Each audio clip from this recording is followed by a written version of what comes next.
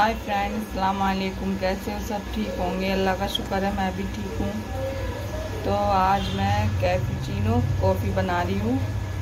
और ये देखें।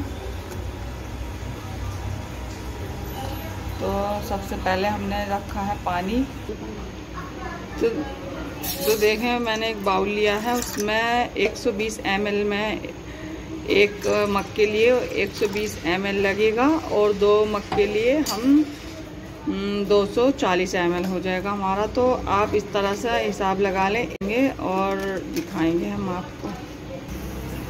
तो देखिए, पानी अच्छे से बॉईल हो रहा है और इसमें, इसे मैं अभी तो देखिए एक पाउच है। इसमें 120 ml पानी लगेगा एक मग बनाने में और ये पूरा पाउच जाएगा। आप अपने हिसाब से जितने आपको मग बनाने हैं, एक मग में 120 ml पानी लेना है और एक पाउच लेना है। इस तरह से आप जितना बनाएँ, अपने लिए बना लें। तो देखें, पाउच को कट करके हम पहले मग में डाल लेंगे। इस तरह से। तो देखें, दोनों मग में मैंने दोनों पाउच डाल लिए हैं। और एक एक में मैं 120 ml पानी डालूँगी एक में और 120 एक में।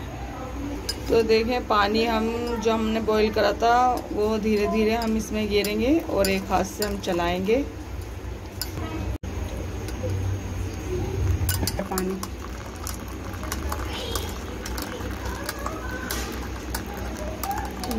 तो देखें, इस तरह से हम बनाएँगे धीरे धीरे पानी गिरेंगे और चम्मच से हम इसको धीरे धीरे चलाते रहेंगे।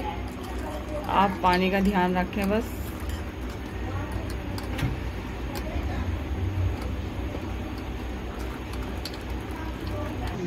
तो देखें, हमने इस तरह से बना ली है अपनी और 20 सेकंड के लिए हम इस तरह से इसको छोड़ देंगे।